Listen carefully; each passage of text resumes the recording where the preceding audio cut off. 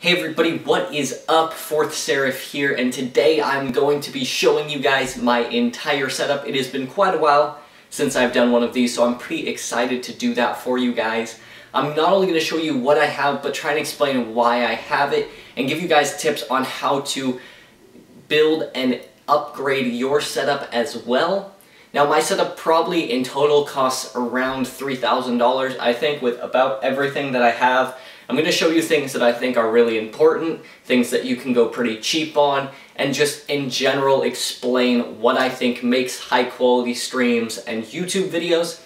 So make sure to stick around and make sure to follow me on Twitch as well. And you can join my Discord if you guys have a lot of questions. I try and be a lot more active on there.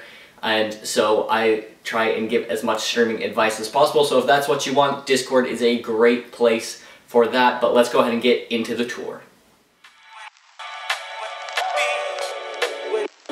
Alright guys,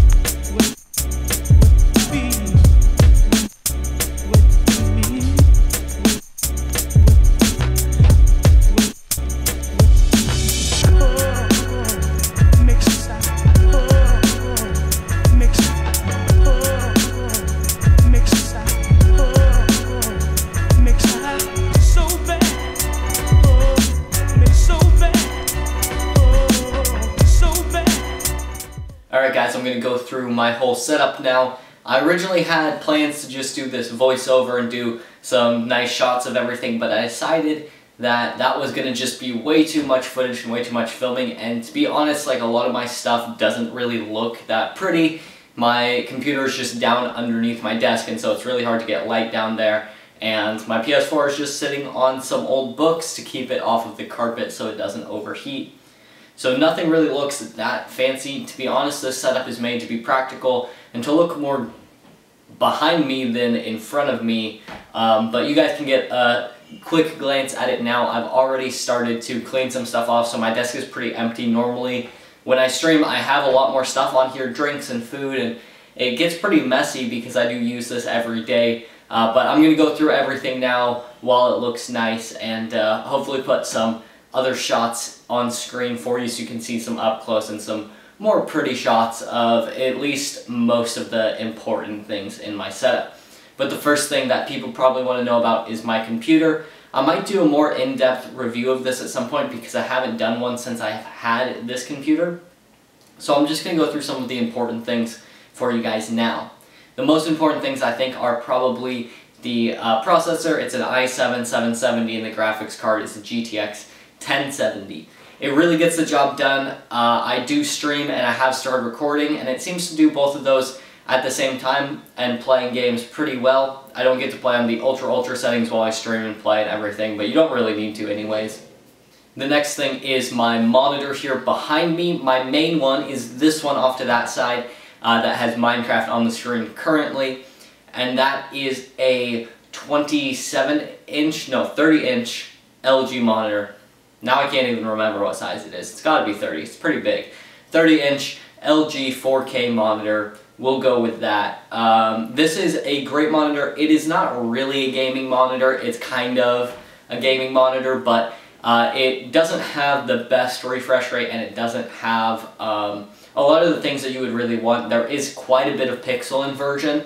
So sometimes when I'm playing PUBG especially, I notice it's the worst and I go back and I watch uh, the video I have or even on stream if I kind of look over to the side and see that, I'm like, oh man, that seems like it was so easy, but everything's kind of all over the place while I'm actually looking at my screen, and so I'm hoping to get a new one and use this as my second monitor for chat and then also edit videos and stuff on it. It's great for editing and it's great for watching anything because it's such a high quality monitor, but for gaming it does lack a little bit and so I hope to get a second one for that. The webcam I'm using is uh, this Logitech webcam. It's really good. Um, I would recommend if you don't have a light to actually get the Razer one uh, because that has a light built in and it will look a little bit nicer. My webcam's not on right now so you can't actually see but it does have some blue lights on it. It films in pretty high quality and seems to be pretty good all around but before I had my light that you guys can see up above it uh, it did make me look kind of blue and discolored and, and made the coloring look a little bit odd. Uh, and then so let's get into the next thing, which is that light. That's just an LED light. It's definitely overkill, so even right now I don't have any type of diffusion on it. I'm still waiting to get some of that and do that. So I just have it face towards the wall so the light reflects back on me. And it seems to work pretty well. I have it at kind of full power uh, while I'm streaming. And so it, it does good enough even like that. It is pretty powerful. Um, my brother got that for me for Christmas and he kind of did one step higher than the one I actually wanted. And so it, it's more powerful than what you guys would really need or most people would really need. It just gives me a little bit more options having that extra power and brightness. Uh, but it is very good. I recommend having a light. I think having a really high quality webcam, if you stream with a webcam, is something important because people connect better with you. The, the clearer the picture, the clearer the audio, the more it's like you're actually just there hanging out with them. The higher the production value, definitely the higher chance that people who come to your stream will stay and will watch and will be invested. Next, which you might or might not be able to see behind me, is my microphone. I have a Rode uh, arm that it's on, and then my mic is a Blue Yeti, and I have a shock mount there as well. The Blue Yeti, I'm sure you guys have all heard of it and know it's a great mic.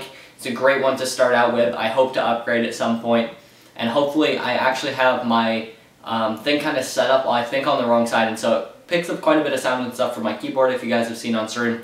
And so I'm hoping to have a little bit better setup for it, but having the shock mount really helps uh, when you're moving your mouse around and stuff, all those little things don't get picked up super loud in the mic because sound waves are just vibrations and so any vibration that you're hitting on your desk is going to be really loud if your microphone is just on the normal stand. So I definitely recommend doing that.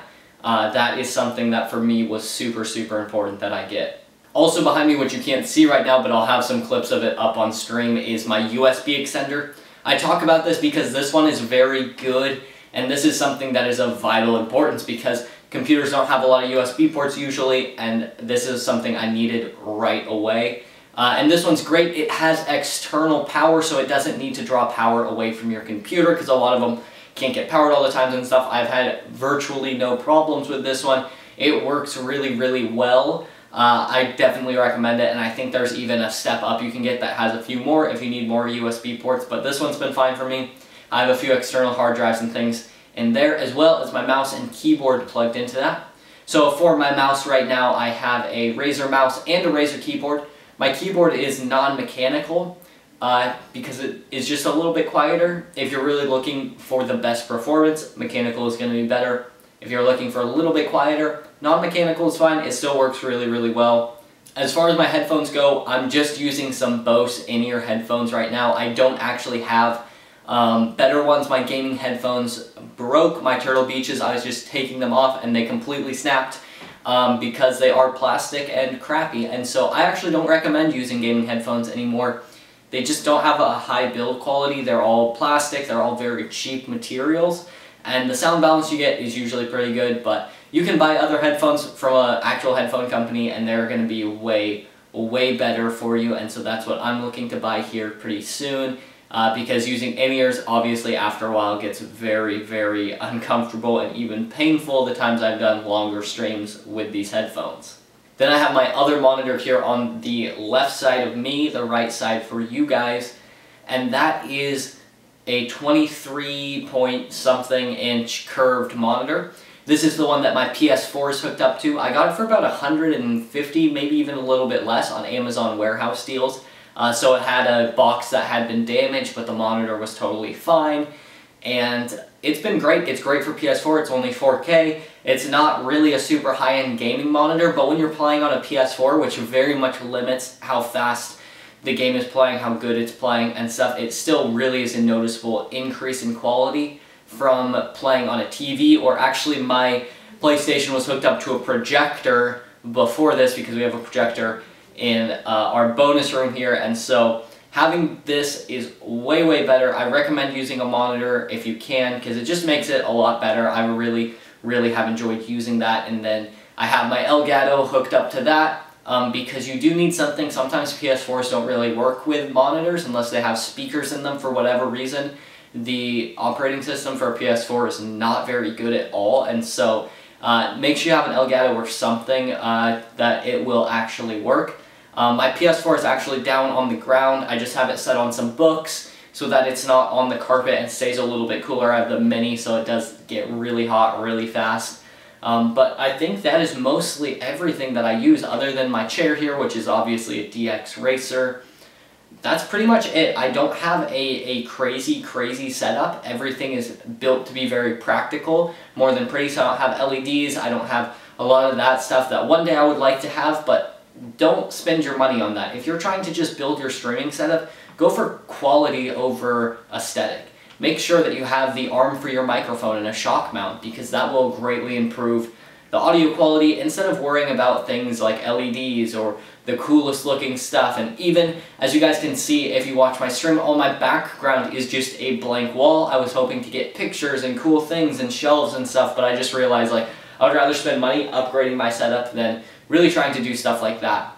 Um, but that's pretty much all I have for my setup and all for you guys today. I would really appreciate it if you watch my streams, if you leave a like on this video, if you subscribe, if you enjoyed it. If you have questions, I'm more likely to go really in-depth on stuff on my Discord, and I have a lot of information on there already. Uh, so if you have a lot of in-depth questions, a lot of help that you need, make sure to join the Discord. I will answer comments as well, but Discord is a much better place uh, for me to message with people back and forth and really post longer things. YouTube can be a little weird about that sometimes, but thank you guys so much for watching. Until next time, I will see you guys online.